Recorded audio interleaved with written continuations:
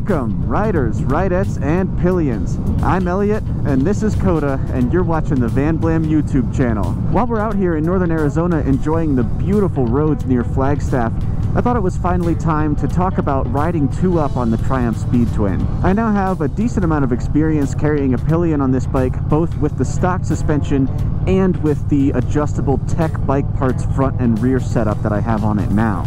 I never really filmed much of us riding together with stock suspension, but we did go for some rides around DC and in New York. So today I'll talk about what that was like, how it's changed after I updated the suspension, and get some of Kota's opinions on it as well.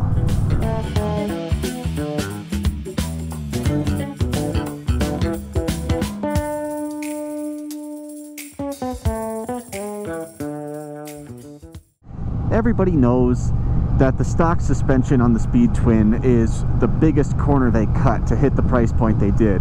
I personally always found it was fine, but it seems like riders who are heavier than me and ride more aggressively than I do find it to be pretty inadequate. The springs really started to feel cheap to me though when I started carrying a pillion on a regular basis. I found that the bike would sag drastically as soon as she got on and the handling was really negatively affected. In the corners, it was just really wallowy. It didn't want to track on a consistent curve.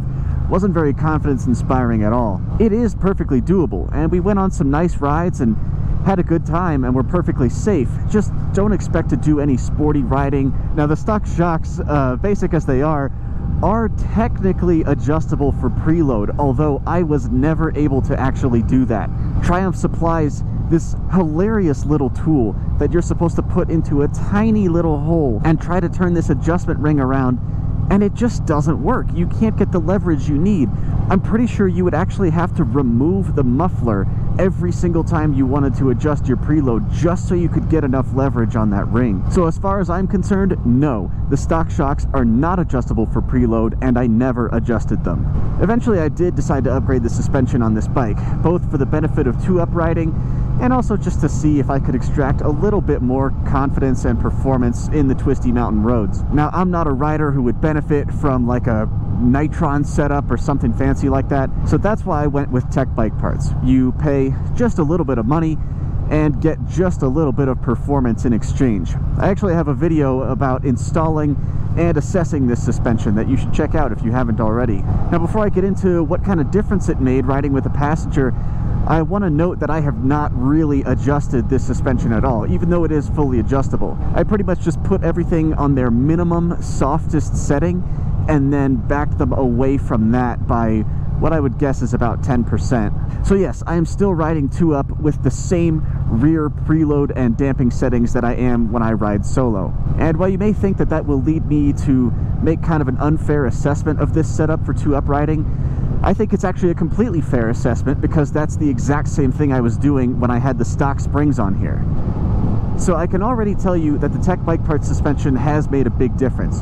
When Kota gets on the back seat now, the bike hardly sags at all. And when I go around a bend, even a gentle one like the ones out here, the bike is just much more willing to follow a consistent line.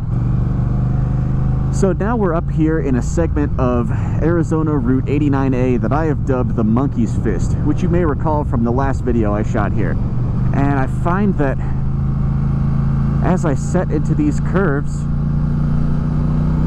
yeah, it feels like it should. Now, you know I'm not an aggressive rider in general, and especially not when I have a passenger on board. But for what I'm trying to do here, this feels very natural. I would almost say it feels comparable to when I'm riding solo, just maybe a bit more top heavy. If I were going to run into limitations of this suspension when riding two up on a twisty mountain road like this, I would have to be going a lot faster than I'm actually comfortable going. All right, you first.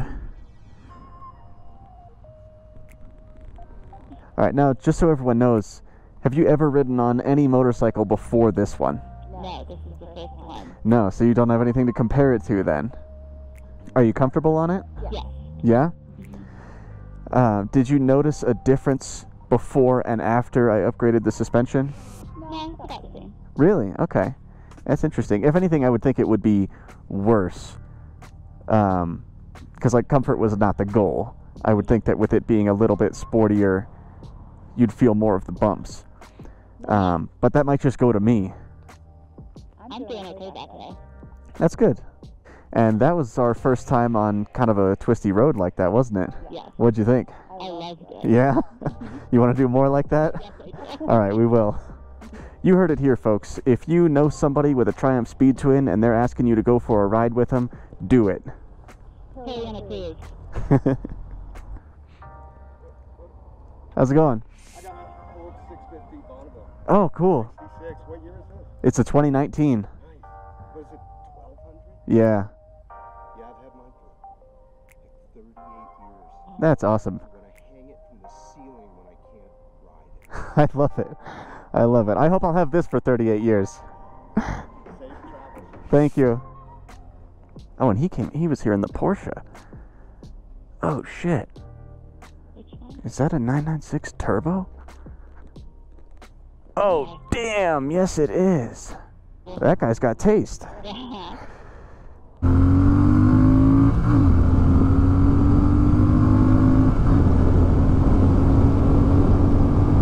So you'll notice that I've pretty much only talked about the suspension and handling when it comes to carrying a passenger on the Speed Twin. I haven't said anything about how the engine copes with the added weight. And that's because there isn't anything to say. This bike just has so much torque on tap that you don't really notice when you go to twist the throttle that there's a passenger on the back. So after we filmed the rest of this video, I received a question from a viewer, and I've gotten this at least once before, about how the Speed Twin fares for touring with a passenger.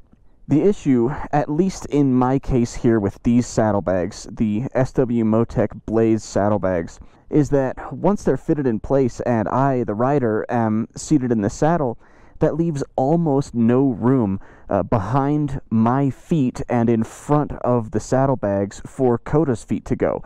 She pretty much has to ride exclusively on her heels or the arches of her feet. Doesn't really have a lot of options to move around. We're about halfway through a ride. Um, we've been out for about an hour so far. How was it for you? It was better than I thought it was going to be. I thought the biggest problem would be that there wasn't room for me to sit with the saddlebags on, and I was a little scared about getting on. That was easy. I Look at that dog. Oh my. Hi. Um, I think if we went longer, it would be more uncomfortable for you because I keep sliding into your back. Oh, yeah. Yeah, I did notice you sliding forward a bit more. Um, part of me thinks it's like the, the Velcro strap that goes across here is like not as grippy as the original seat. Uh, so you combine that with the fact that the Speed Twin seat has just an ever so slight forward lean.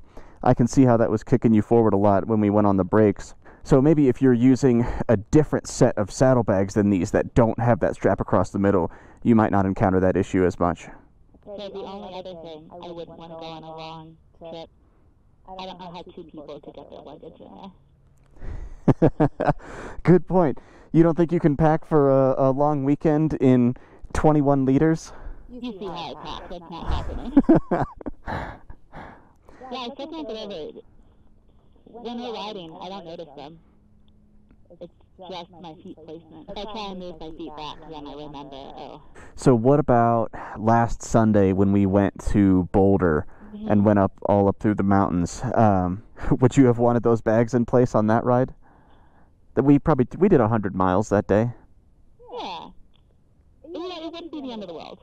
So what I'm kind of getting here is as long as you can pack really light, then it's feasible. You could do like a weekend getaway out of town, you know? Yeah. Maybe not any like interstate odysseys No. uh, of a week or more at a time, but you could do a weekend. So I guess that's all I have to say about this topic for now. If you have any questions for me or for Kota, leave them in the comments and I'll get back to you. And if you have any personal experience carrying a passenger on the Speed Twin, I'd love to hear about it, especially if you're able to compare and contrast it with other motorcycles. And lastly, if you want to see more videos like this about this motorcycle and its adventures out here in the West, then make sure you subscribe if you haven't already. As always, you folks ride safe, and we'll see you back here for the next video. Thanks for watching.